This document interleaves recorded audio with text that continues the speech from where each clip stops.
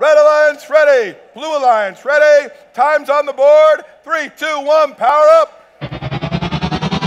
Here we go. Blue Alliance jumps. They get themselves up.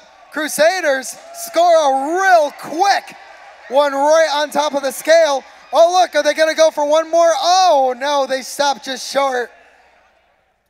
I want to see a tube cube auto here. Crusaders now apply one more power cube to the scale, making it really difficult for Blue Alliance to come back. Blue Alliance is not going to be at all unnerved.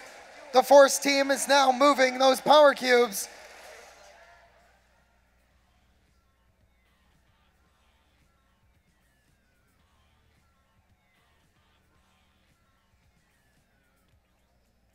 Blue Alliance has pretty much been stopped in their tracks, except the Force team comes up with an equalizer here, 238, makes it even more difficult.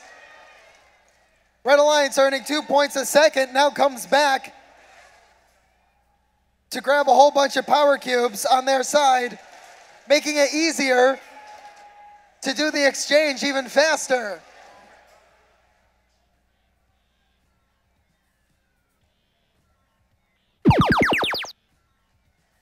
Red Alliance uses a boost to gain a couple of points here and there